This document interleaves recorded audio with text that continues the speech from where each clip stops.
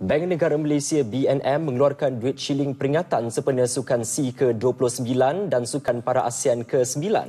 Duit shilling yang dikeluarkan pada 16 Ogos itu terdiri daripada duit shilling perak berwarna proof, duit shilling peringatan emas Nordic serta set duit shilling dua dalam satu.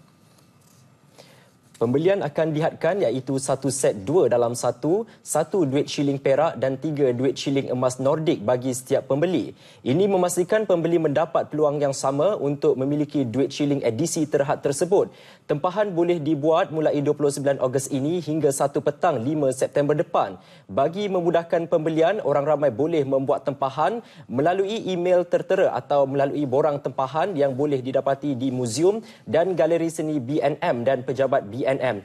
Jika tempahan lebih daripada kuantiti jualan, proses undian akan diadakan dan keputusannya akan diumum pada 8 September 2017.